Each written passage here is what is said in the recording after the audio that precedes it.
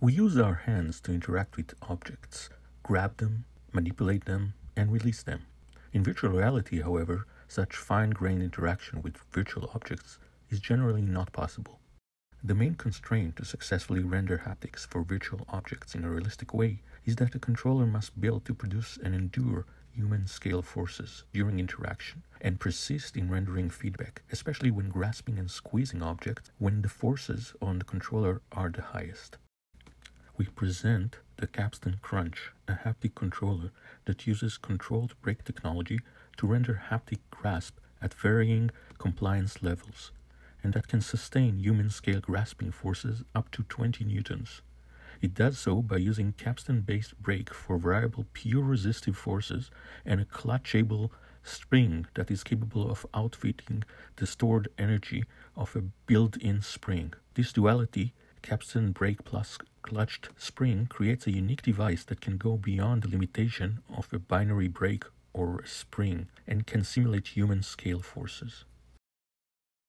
In a simulation of a push button, the user finger reaches the surface of the material represented by a brake and pushes it in against the resistance of a spring up until some point where the brake is being released and the user feels the operation of the click of the button until the button reaches full brake.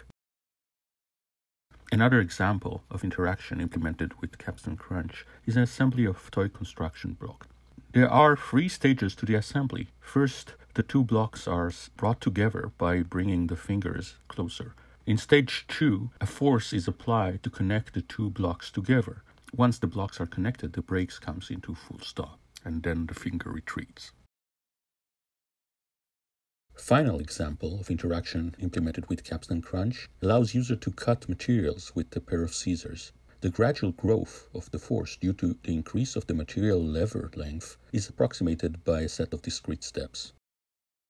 We presented Capstan Crunch, a haptic controller for rendering grasping feedback up to human scale forces. Capstan Crunch is built around a novel linear adjustable friction based capstan brake that renders human scale forces without the use of large, high force, electrically powered consumptive and expensive actuators.